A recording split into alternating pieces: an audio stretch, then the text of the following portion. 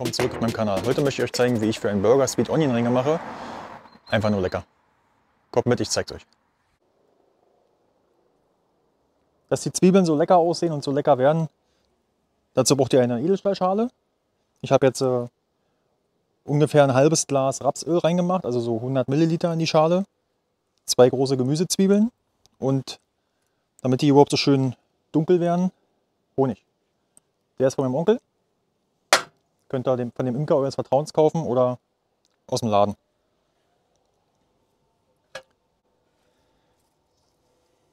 Schön aufpassen, dass das Öl nicht über die Schale geht.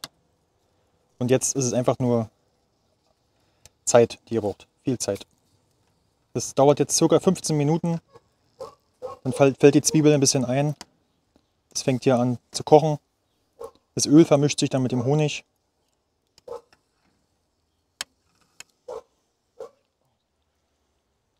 Die Kombination Zwiebeln, Öl und Honig, das macht die Zwiebeln mega lecker. Die werden genau richtig für den Burger.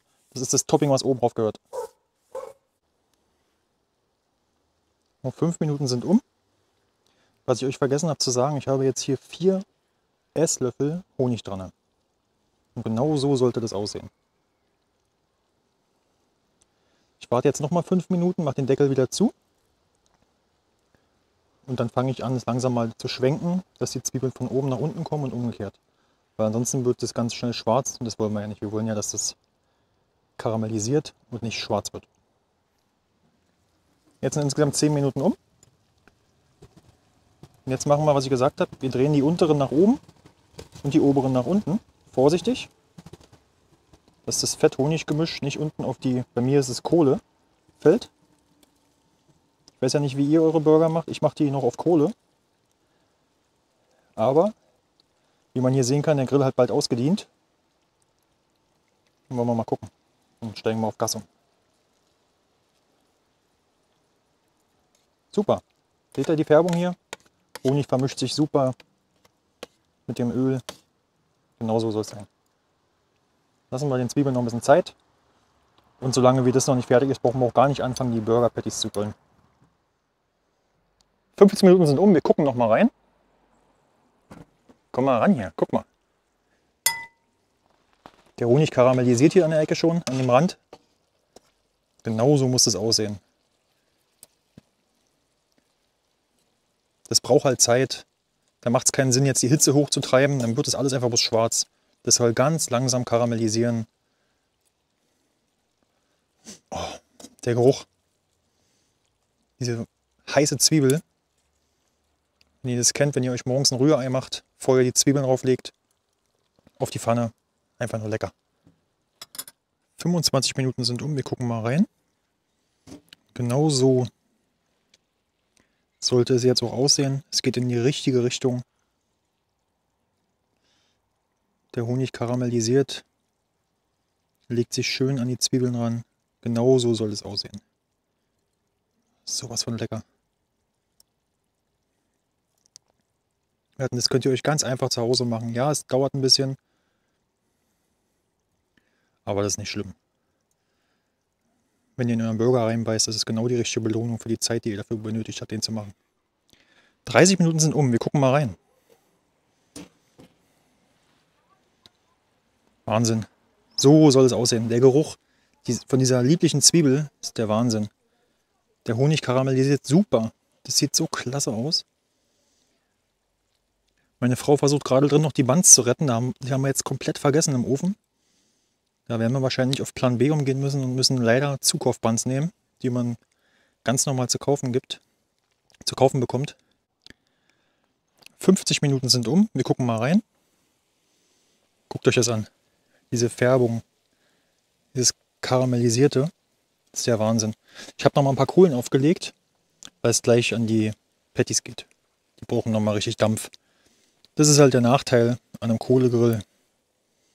Aber das Grill macht immer noch wahnsinnig Spaß. Das Ergebnis ist wichtig. Den Bacon habe ich auch schon aufgelegt, der bekommt von oben schon mal ein bisschen Wärme. Der muss auch gar nicht so doll. Deckel hier zu. Ja, den Bacon lege ich noch mal ganz kurz auf. Der kriegt noch mal richtig schön Feuer. Die Zwiebeln sind soweit. Und dann könnt ihr den Bacon auch schon wieder runternehmen. Und dann kommen endlich mal die Patties rauf. Guckt euch das an. So muss es aussehen. Bacon kann runter. Der erste Patty kommt drauf.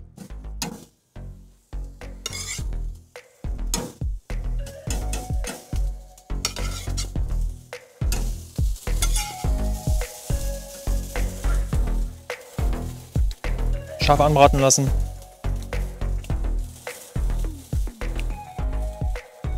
Das muss im Gefühl sein. Guckt euch die Zwiebeln an. Oh, der Geruch. Dieses heiße Fleisch jetzt äh, mit den Zwiebeln. Der Wahnsinn. Ich brate die jetzt hier zu Ende, dass sie nicht schwarz werden. Dann nehme ich es mit, wenn ich den Cheddar-Käse aufmache. Hört euch das an. Jetzt können wir auch schon den Cheddar aufmachen.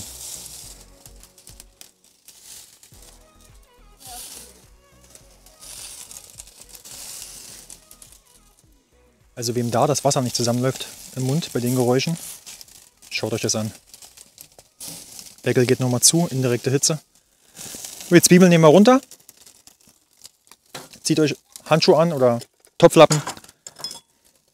Ich lege die jetzt in eine Schale rein, dass sich keiner verbrennt. Guckt euch das an.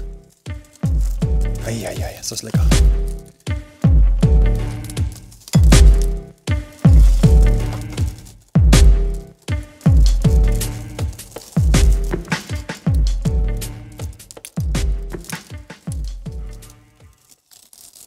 Jetzt gebe ich dem Banz noch mal kurz ein bisschen Hitze. Meine sind leider nichts geworden.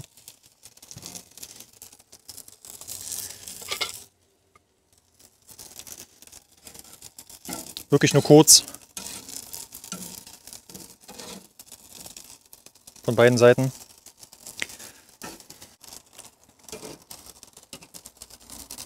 Der Cheddar läuft schon runter. Wahnsinn.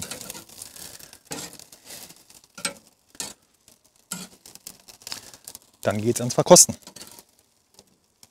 Wie belegt ihr euren Burger? Kommt her, ich zeige euch, wie ich meinen mache. Ketchup muss rauf. Da stehe ich auf dem Werder Ketchup. Papa Joe's Mayonnaise. Kann nie genug sein.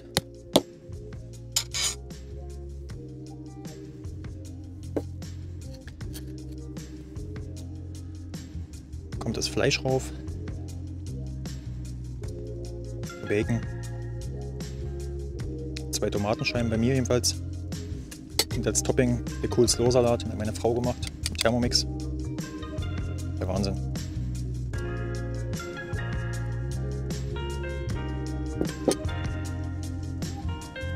Nicht zu vergessen.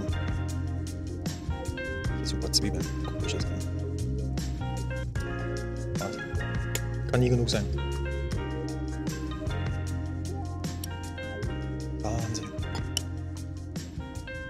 Und ganz oben noch der Cheddar Cracked Black Pepper.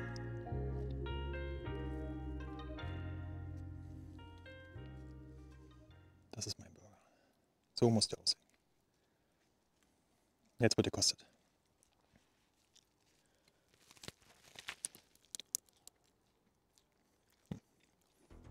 Wahnsinnig lecker. Wow. Wenn ihr noch nicht abonniert habt, macht es bitte und lasst einen Daumen hoch. Bis dann.